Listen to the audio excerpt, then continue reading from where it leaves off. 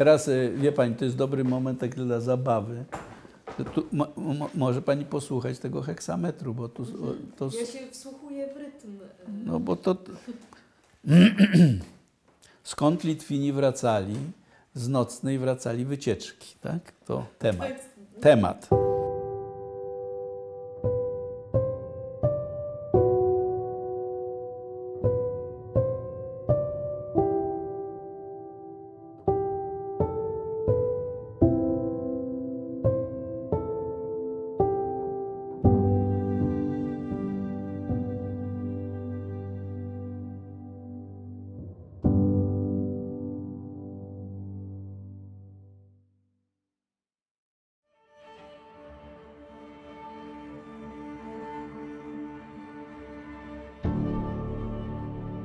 Złapałem równowagę i stanąłem na nogi.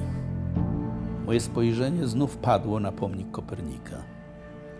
Z cyrklem i małym modelem układu słonecznego spoglądał ciekawie w niebo, przejrzyste i rozjaśnione światłem księżyca w pełni. Poszedłem za jego przykładem i też zadarłem głowę, aby popatrzeć na gwiazdy. Gdzie dziś jest wodnik? Gdzie panna? Gdzie może być teraz Wenus? Lecz mój wzrok, zanim sięgnął horyzontu wszechświata, zderzył się naprzód z twarzą i ręką Zbawiciela, który nade mną górował. Z mego punktu widzenia, swą pochyloną głowę zdawał się nieco odwracać w kierunku Kopernika, jak gdyby chciał doń powiedzieć: Nie gap się w gwiazdy, chodź za mną a palcem prawej ręki pokazywał na północ.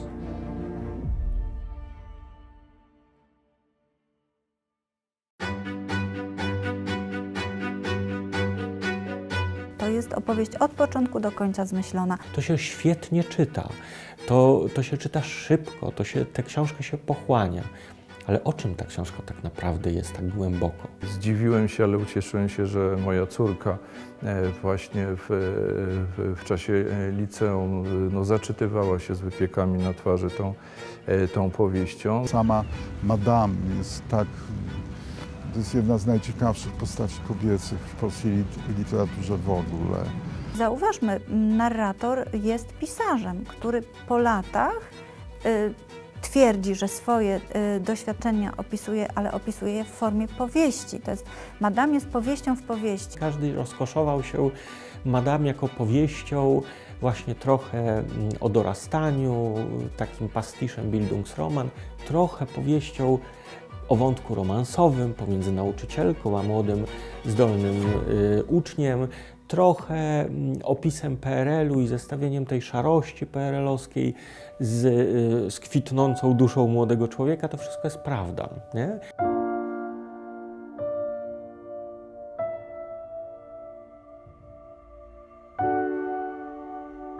To jest miejsce pi- pierwsze, które pamiętam, bo wprawdzie e, przyszedłem e, na świat na innej kolonii WSM-u, mianowicie na dwunastce. To jest stąd, nie wiem, 500 metrów, ale myśmy się tutaj przeprowadzili w 52 roku, kiedy ja miałem 3 lata, no i właściwie e, do mm, dorosłego życia mieszkaliśmy w tym, w tym domu. I tutaj zresztą jest tablica moich rodziców, e, którzy byli silnie po, po wojnie związani z Żoliborzem.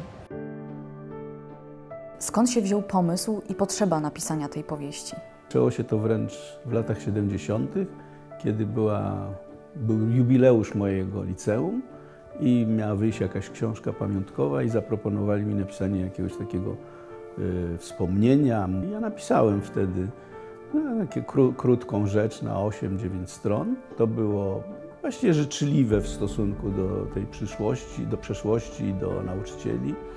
No, było jednak też ironiczne i ta ironia się nie za bardzo wtedy spodobała i nie, nie przyjęto tego materiału. E, Książka, która jest no, ważną lekcją e, historii, e, ale też ważną, ważną lekcją tego, czym jest wielka literatura, dlaczego warto czytać, dlaczego warto znać kulturę, nawet można powiedzieć żartobliwie kulturę czy literaturę jako narzędzie uwodzenia, zdobywania miłości.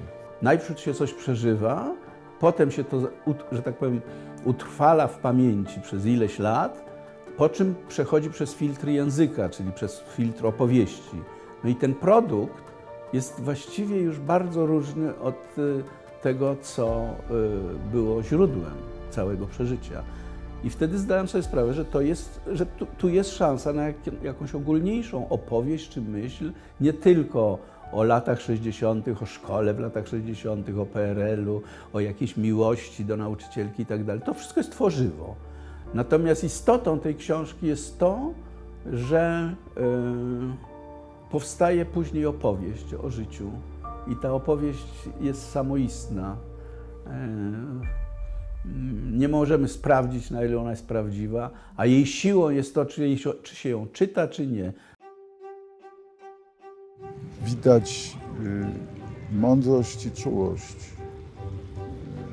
y, z jaką podchodzi do bohaterów, szacunek nawet do tych.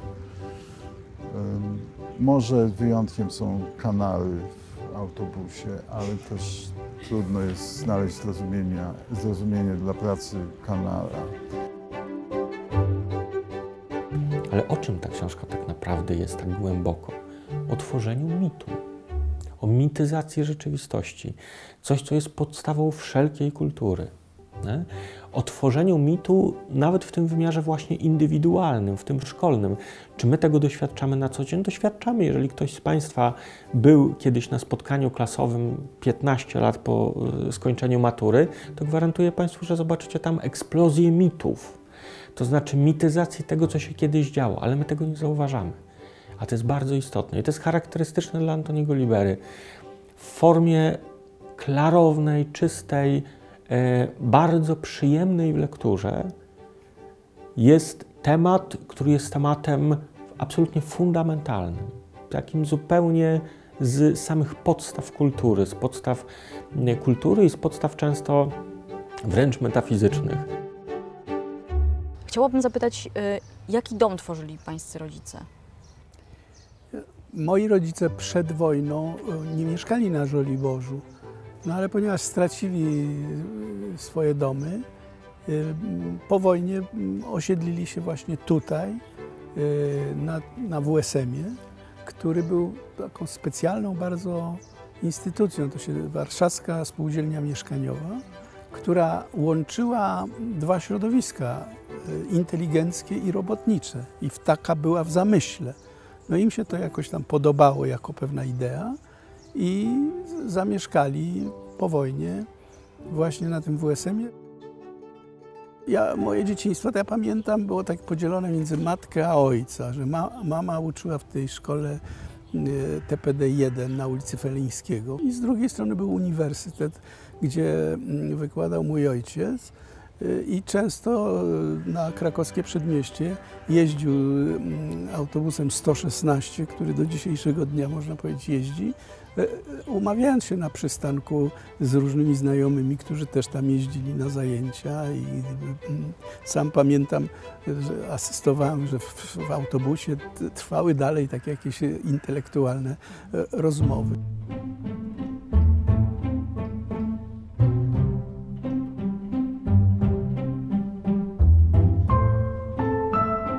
Bohater bardzo szczegółowo opisuje, y, co widzi, budynki, pomniki, ulice, parki.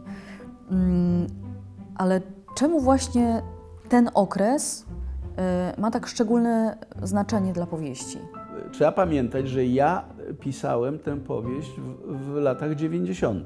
Bo mnie chodziło o to, że y, cezura, jak, jaką był jednak stan wojenny, w ogóle no, najpierw Solidarność, a potem y, stan wojenny, że to jest jakiś przełom, no, że kończy się jakaś epoka i że ta cała e, architektura PRL-owska, nędzna, taka e, toporna albo no przede wszystkim marna, bo y, to, to, to, to było, to było i, i brzydkie, i tandetne, że ona pójdzie w niepamięć. Ja, ja sobie wtedy jakby zdałem z tego sprawę, że, że, że to jest jakiś koniec epoki. Oczywiście, że to nastąpi za 10, 20, 50 lat, bo to są wolne procesy architektoniczne, ale że to będzie wyburzane, że nic z tego nie zostanie.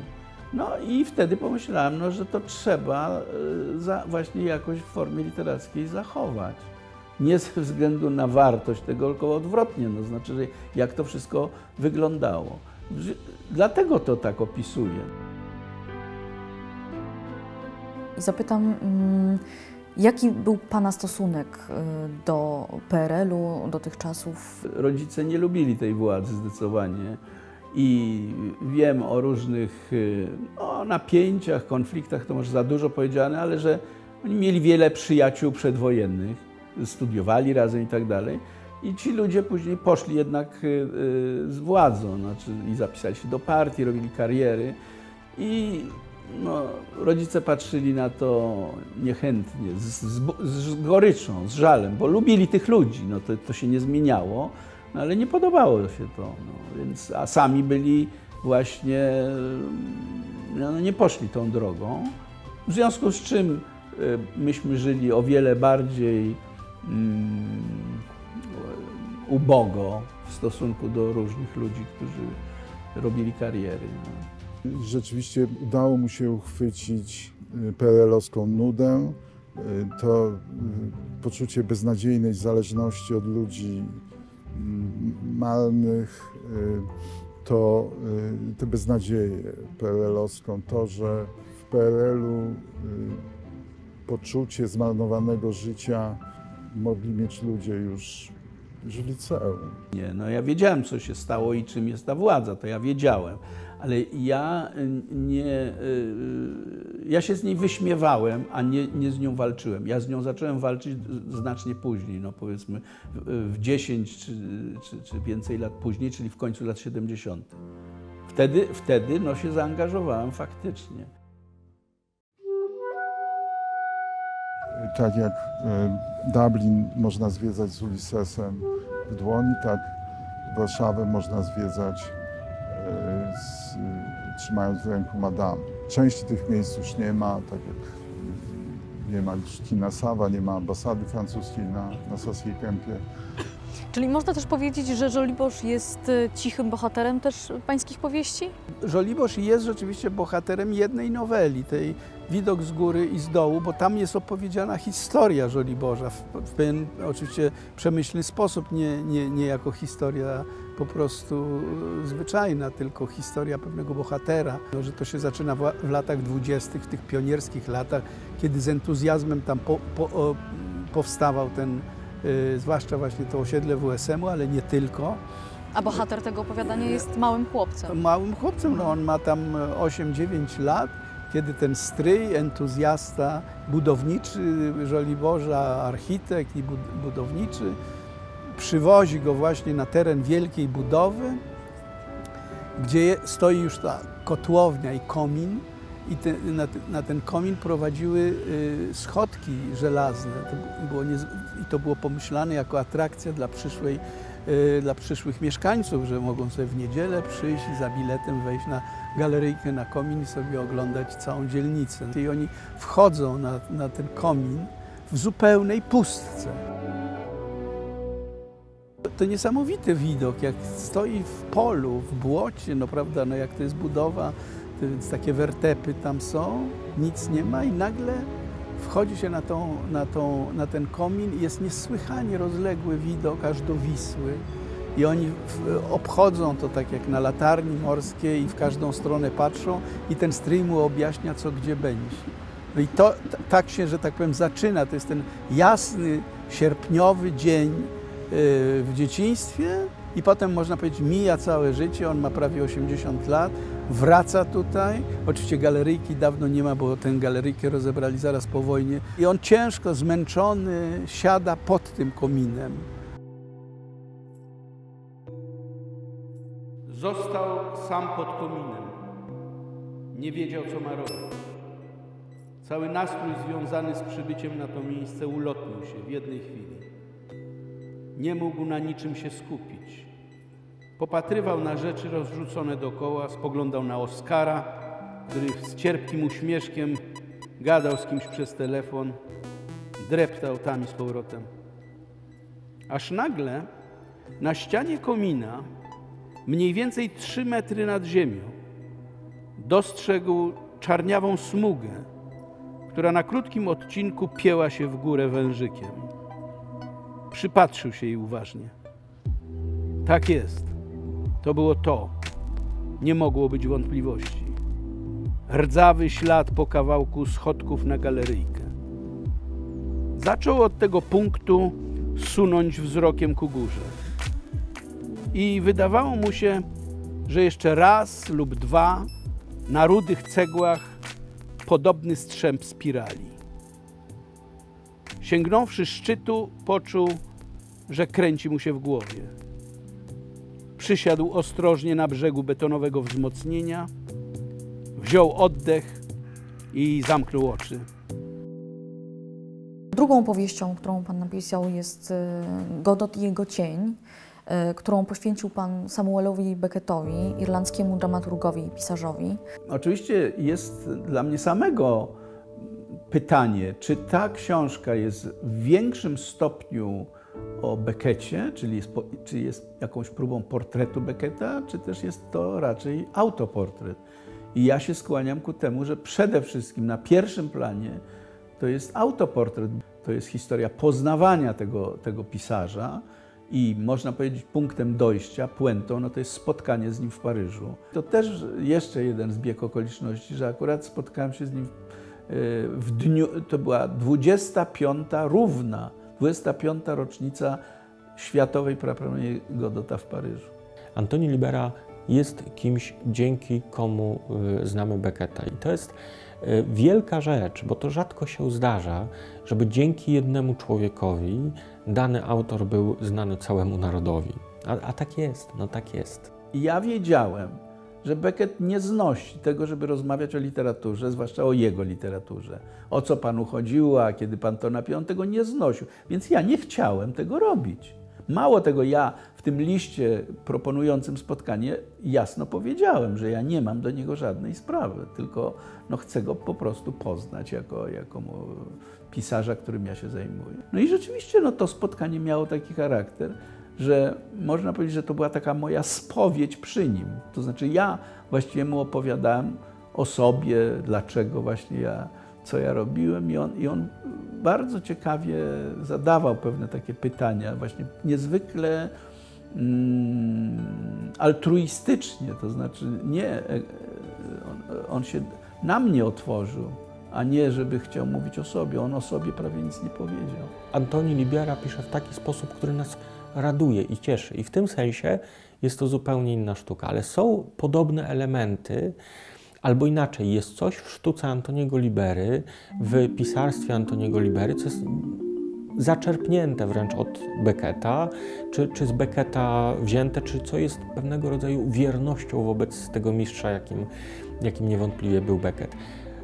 Co bym wymienił? Na pewno bym wymienił tutaj mm, kultywowanie formy. Fascynacja formą jest, jest e, fascynacją taką, może trochę na poziomie y, emocji, ale estetyki, o, o, o, coś takiego. Natomiast te wnikliwe studia y, spowodowały, że y, przerodziła się w, w, taką zgodę intelektualną. No po prostu y, Libera podziela światopogląd y, Samuela Becketta. Dlaczego Beckett stał się dla Pana tak ważnym no twórcą? tak, no ta książka jest próbą, odpowiedzią na to pytanie. Beckett napisał Godota na przełomie 48 i 49 roku, kiedy ja właśnie przychodziłem na świat. No ja się urodziłem dwa miesiące po tym, jak on skończył Godota. No więc można powiedzieć, to było równoległe, tak? No to jeżeli yy, po, po, po latach ja się orientuję, że to tak wyglądało, on pisze Godota, ja przychodzę na świat, Y, Godot przychodzi do Polski, ja idę do teatru, to jest moje pierwsze przedstawienie, które ja widzę w teatrze, no to ja jestem inaczej mówiąc na, na, na, na, na skazany. Wysłuchałem właśnie tego żałosnego kretyna, którego 30 lat temu uważałem za siebie. Trudno uwierzyć, że mogło być ze mną aż tak źle. Ten głos! Nie można by powiedzieć, że jesteśmy w sercu e, Żoliborza. E, To jest miejsce szczególne nie tylko ze względu na Pana miejsce urodzenia e, i tu, gdzie się Pan wychował, ale już jako dorosła osoba wybrał Pan tą dzielnicę na swoje mieszkanie po prostu i życie w niej. Co jest szczególnego w tym miejscu? No, można powiedzieć tak, że rzeczywiście Park Żeromskiego, w którym teraz stoimy, jest jednym, bo tu kilka jest symboli Żoliborza, ale niewątpliwie Park Żeromskiego jest jednym z symboli Żoliborza. Jak ja e, pisałem książkę, bo to no, głównie z tym się to wiąże, że miałem świadomość, że to jest bardzo mocne miejsce tutaj na Żoliborzu razem z mm, e, Placem Wilsona. No i dlatego tutaj umieściłem jakieś strzępy akcji, że mój bohater jego scenariusza dyrektor nie chciał za, e, zaakceptować, bo mówił, że tam brakuje literatury narodowej, wieszczów polskich. E, A on zrobił taki kosmopolityczny scenariusz. No i później dostał za to nagrodę. Nagroda była upokarzająca, bo był zegarek sowiecki. On niszczy ten zegarek i, y, mów- i myśląc sobie, że właśnie dorobiłem się na niecnym kosmopolityzmie kosztem narodowych wieszczów, których, ulic, których nazwy ulic się tutaj krzyżują. No, bo to właśnie, że brakowało Mickiewicza, Słowackiego, Krasińskiego, to proszę bardzo, w hołdzie tym wieszczom teraz on składa sowiecki zegarek. No taka zabawa. No.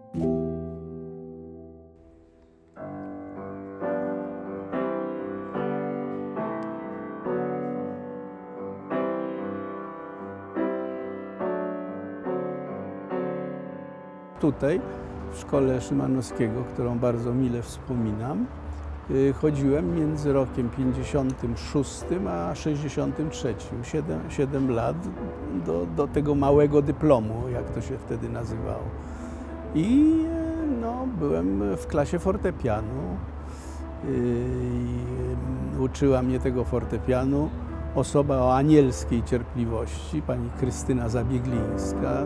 A znajomość teorii muzyki i literatury muzycznej, czyli przede wszystkim e, no, e, znajomość e, kompozycji wielkich kompozytorów, no, nauczyła później mm, formy. Nauczyła formy, to znaczy, że można było stosować pewne zasady muzyki w literaturze.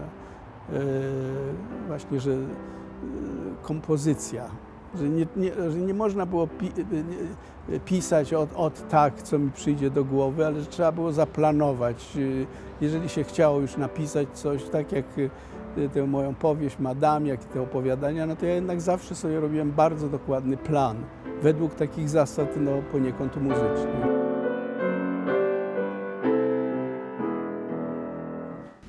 taka ukryta istota twórczości Antoniego Libery to jest pisanie o muzyce. Każdy inny rodzaj sztuki, malarstwo, proza, e, nie wiem, film, to wszystko jest związane z materią, to z e, otaczającą nas naturą, to e, muzyka jest metafizyczna ze swojej natury i to jest, o tym też pisze Antoni i to jest dla mnie fascynujące zupełnie. Opowiadanie, genialne opowiadanie y, Toccata Sedur, które, w którym banalne wydarzenie, jakim jest egzamin maturalny w szkole muzycznej, y, urasta do pojedynku herosów, z których przegrany okazuje się być paradoksalnie potem zwycięzcą. To, to są. Yy, tak, muzyka jest bardzo ważna. E, Antoni Libera oprócz e, wydanej świetnej powieści, ważnych e, opowiadań, esejów, rozmów, no ciągle tłumaczy. Jest to jakiś wielki projekt translatorski, ale też intelektualny.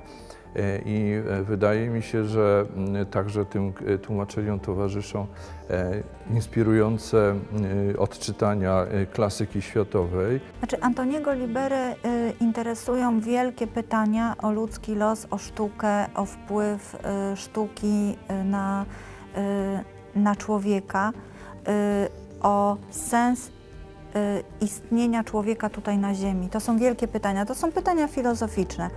Dzięki Antoniemu Liberze mamy uczestniczymy w europejskiej literaturze w tej najlepszej części. Jakie wartości są dla Pana najważniejsze? Taką wartością, którą bym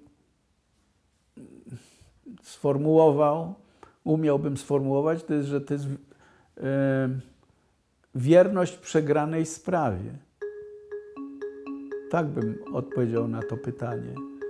Wierność przegranej sprawie, ponieważ z jednej strony, jako wyznawca Becketa, jego stronnik, no, zdaję sobie sprawę, że to wszystko jest y, prawdopodobnie iluzoryczne. Tego nie da się w żaden sposób udowodnić. Y, tego nie, jeżeli się nie ma wiary, czy jest się, jest, jest się sceptykiem, no to nie można tego udowodnić.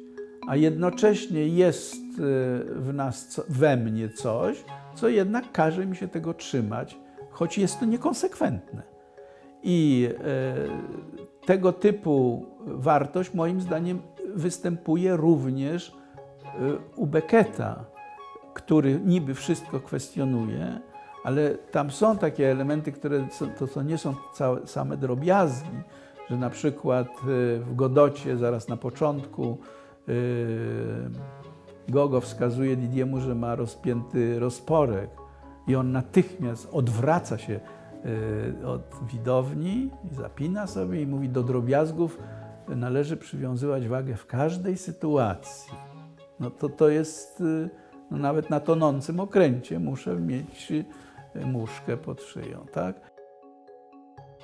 Często te życzenia do Antoniego Libery trafiają przy okazji różnych wywiadów, które są z nim prowadzone, żeby pisał więcej.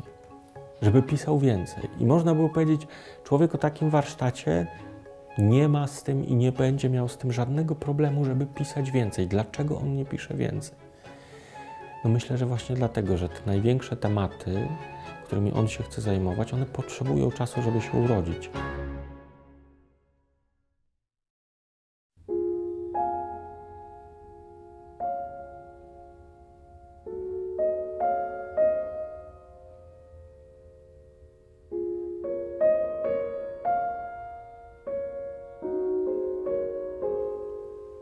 Mego punktu widzenia, swą pochyloną głowę zdawał się nieco odwracać w kierunku Kopernika, jak gdyby chciał doń powiedzieć: Nie gap się w gwiazdy, chodź za mną.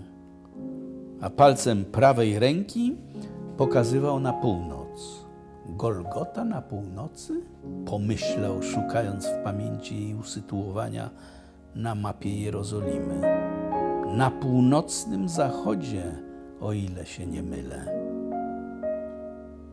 I wtedy doznałem olśnienia. No jasne, gdzieżby indziej, tylko tam mogli pojechać.